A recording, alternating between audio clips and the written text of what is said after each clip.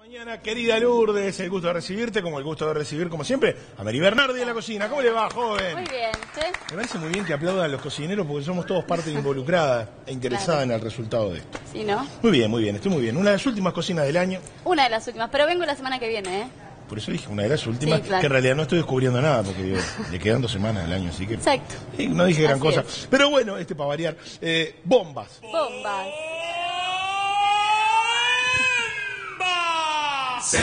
Tenemos también la, eh, bueno, éxito del verano 2000, ¿no? Todos lo estamos recordando, ¿no? qué memoria, Y la por voz de favor. King África que te dice que aquí Pues no, King África no. Hay una versión de King África y una de Azul Azul. Es de Azul Azul, pero, pero esto es King África que está cantando, ¿no? Bueno, ¿cómo arrancamos las bombas, estimada? Bueno, Petit. arrancamos así. Vamos a hacer petit choux. Choux es la masa que vendría a ser esta. Es una masa francesa que se puede usar tanto en preparaciones saladas como dulces. Vamos entonces la versión con dulce de leche, los típicos profiteroles o las bombas. La canción lo Me pide. distrae tu movimiento sensual.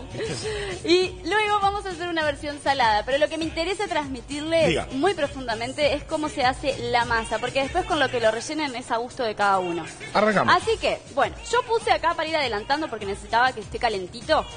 125 mililitros de agua y 125 mililitros de leche. Los puse acá con 100 gramos de manteca sin Muy sal. bien. A esto le voy a agregar 5 gramos de azúcar Una y pizquita de sal. 3 gramos de sal. O sea, varias Esto lo mezclo y no sé si se observa que está en ebullición ya. A ver. Cuando se me disuelve el azúcar y la sal, se ve ahí que está bulliendo. Ahí lo voy a retirar del fuego. Sí. Y le voy a agregar de una De una. 150 gramos de harina, Ya. 4 ceros. Muy de bien. una. Y esto Perfecto. lo voy a mezclar. Y van a ver que se va a hacer un engrudo precioso. Y van a decir, ¿cómo sale algo de acá? ¿Y cómo hacemos? ¿Cómo hacemos pues esta formita con ese engrudo precioso? Vas a ver cómo sale. Bueno, Sí. ves que se va formando una masa. Sí.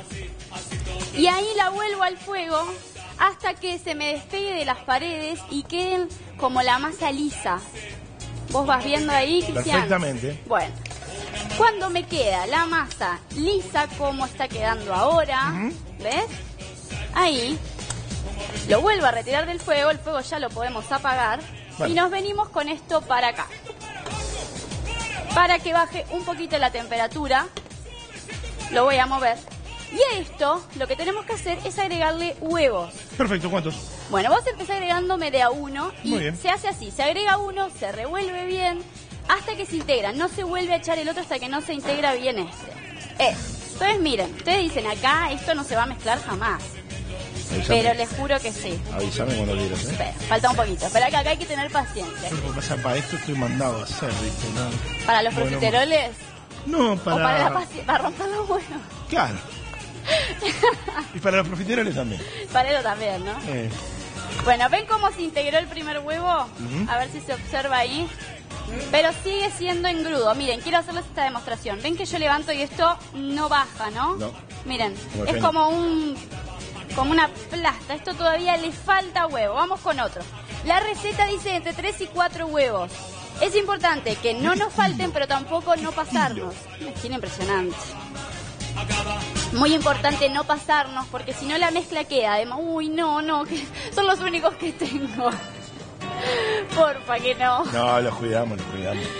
Bueno, le decía, es importante no pasarse de huevo acá, porque si ustedes se pasan, cuando hacen las formitas, van a crecer en el horno, pero luego no van a aguantar y se, se desinflan, no Bien. quedan así ahuecadas e infladas. Fundamental. Vamos con el otro, ven que se volvió, miren, espera, déjame mostrar esto. Estoy Se bien. volvió a integrar, pero todavía está dura. Sí. Ven, miren, yo estoy pronto. vamos, con otro. Voy. ¿Eh? Style, puro style. Ah, Cristian, ¿sabes qué estaba pensando? Escúchame. Un tema de verano que me ¿Cuál? marcó mucho. ¿Cuál? Contanos. Porque lo cantábamos con todos mis amigos atrás allá. Clavo que te clavo la sombrilla. Mira, sí, sí, sí, Temón, que, que ¿o creo, no? que era, creo que era de una publicidad. Creo que sí. eh, Creo que es de, de algunos, hace algunos años. Está bueno, dale el movimiento. Yo te lo canto y dale movimiento, dale movimiento. Mirá, mirá. Y que te clavo, que te clavo la sombrilla.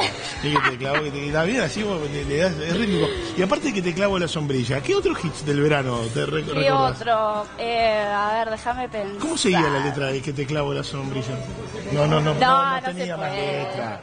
No tenía más letra ese. Era una, era una publicidad. Que te clavo la Pero era temón. Bueno, eso. Era muy pegadiza, ¿no? Con la banda de la boya. Que habríamos chiviado con esta canción. ¿De dónde, dónde paraba la banda de la boya? Y en la boya, había anclado una boya en la playa de Costa Azul. Eso, Entonces éramos la banda de la boya. Costa Azul Canelones, Costa Azul Rocha. Canelones. Canelones, muy Canelones. bien. Bueno, miren, esto está pronto. Perfecto. Y quiero mostrarles esto. ¿No ¿Ves cuando huevos? cae y se forma un piquito?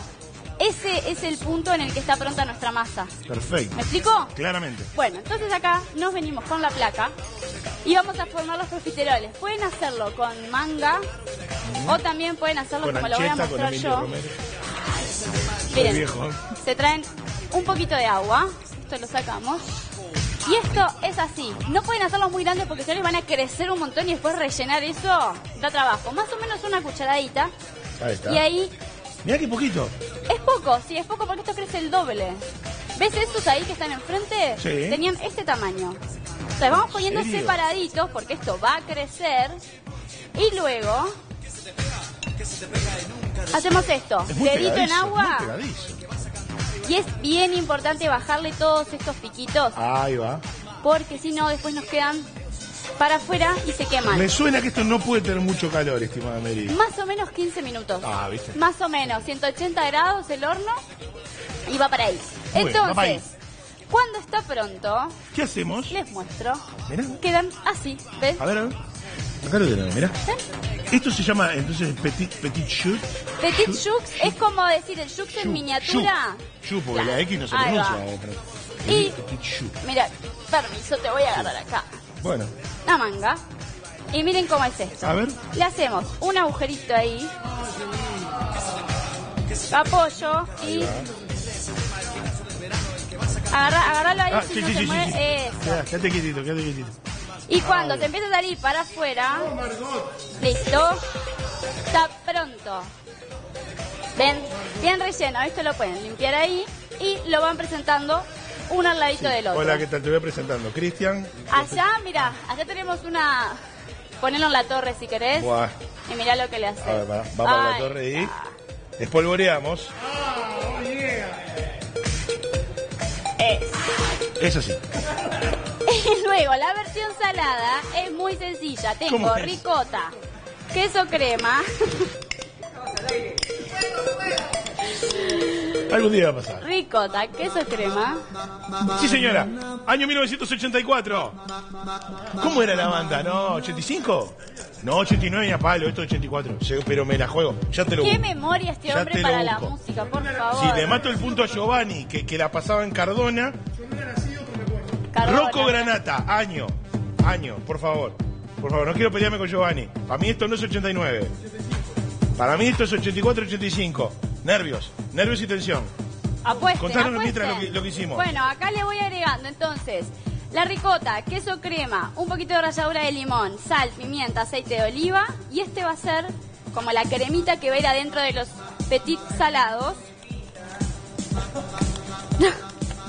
Bueno, hay un tema, ¿no? Porque en realidad tiene varias, tiene varias versiones.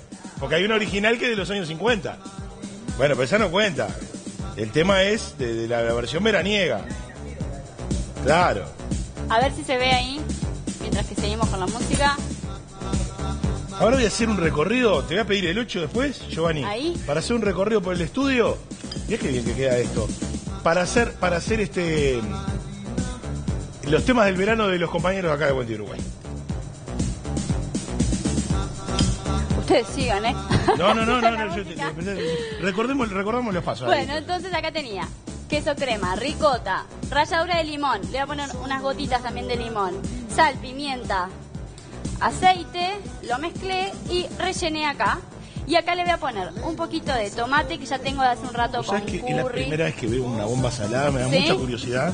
Porque ¿qué pasa? Al esto llevar un poco de sal y un poco de azúcar, ganó la apuesta. A ver. Sí. 89, no puede ser, vos. A veces se pierde, a veces se Está- gana. Está bien, mira, me mató el punto.